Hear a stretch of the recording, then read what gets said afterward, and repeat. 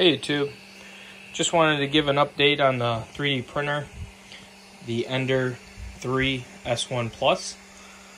Um, definitely have some positive and some some not so positive uh, feedback on the printer.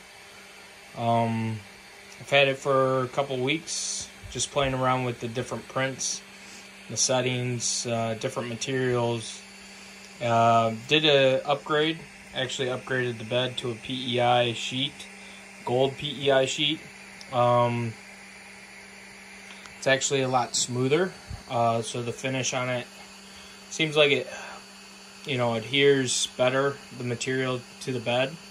Um, I have also noticed, uh, based off of someone's comment about the the the bed temperature, actually does run roughly about 10 degrees colder than what the actual display says. So bumping up the the heat uh, bed to run it about 10, 10 degrees hotter um, seems like uh, it's the recipe to keep it to stick.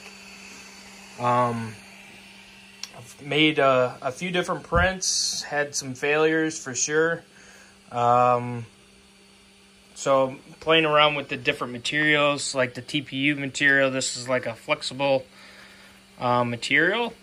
Uh, turned out really good. Um, yeah, that did a really good job uh, with that. Um, ran some uh, PEG, making some cookie cutters. Uh, that, you know, running the printer hotter uh, turned out really well. And then just running PLA for the rest of this. Um, I've had a lot of failures. So a lot of a lot of issues where stuff gets peeled up or stringing or uh, I've had recently an error pop up.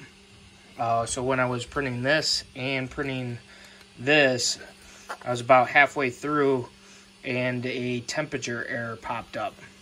And then when I went to go reprint it or restart it, it actually peeled away from the bed.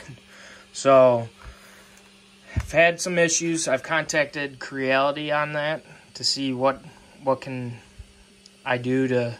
I've checked the connections, but seems like it pops up randomly. So intermittent. Um, same with here. Um, just had some some issues on the one print. These both printed at the same time, so seems like the the bed it's inconsistent on the the heating. Uh, this peeled up on the one end, and then this printed fine. And then it does a nice job. I mean, this is one of those fidget spinners with the, the gears, uh, print in place, and uh, everything turned out excellent on that. And then I made one of these uh, dragon eggs uh, where it has a twist top, and everything turned out fine.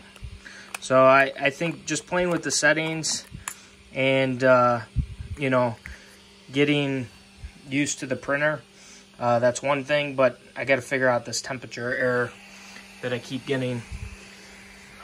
Another thing, too, uh, that I'll have another video down the road is I bought myself a Creality Smart Kit.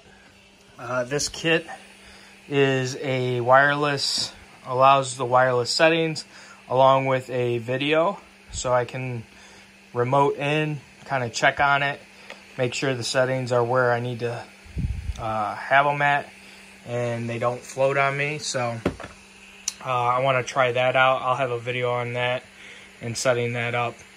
Right now I've been kind of using my GoPro uh, and just trying to capture some videos, which I'll post uh, down the road here. So. But yeah, that's a little update on the printer. Uh, more videos to come.